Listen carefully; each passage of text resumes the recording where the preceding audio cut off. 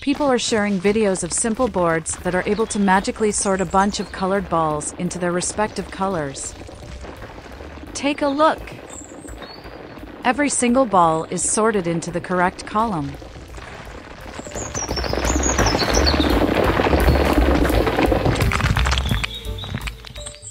Here is a different video showing a similar board magically sorting colored balls into their respective colors.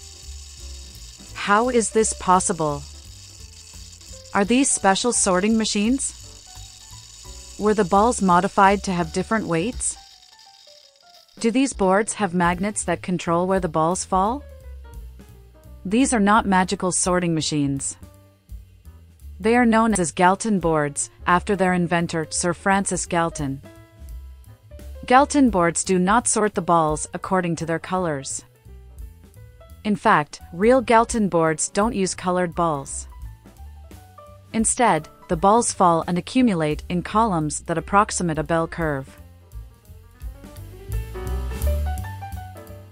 The truth is those viral videos were computer generated using 3D software like Blender or Maya.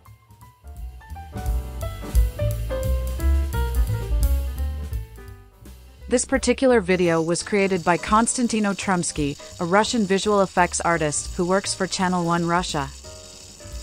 In fact, he posted the video on his Vimeo channel saying that it's a joke video, which was made to provoke people to suggest all kinds of theories, and just for fun. Now, you might be wondering how did Konstantin and the other creators do it? For starters, they use 3D graphics software like Blender or Maya. They can modify the Galton board design or even the weight of different balls to change the distribution.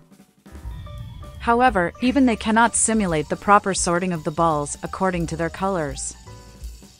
So what they do instead is bake the simulation and then color the balls after they have fallen.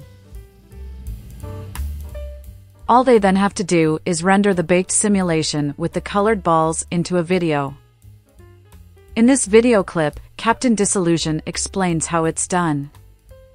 I ran the simulation a few times and I tweaked a few parameters and I when I was happy with it, I baked the simulation and I recolored the balls at the end. And how about we look at the result, huh? Look at those balls go. Um, check them out. Look at they're all landing magically in the right place. Are the last few stragglers gonna gonna go in the wrong place by accident? No, they're all oh they all made it in the right place. And I didn't seem to need to change any of the colors of the balls secret. For more information, please check out the link in the description below. Please help us fight fake news by sharing this video and our fact check article. And please support our work by subscribing to our channel and sponsoring us through the links below. Thank you.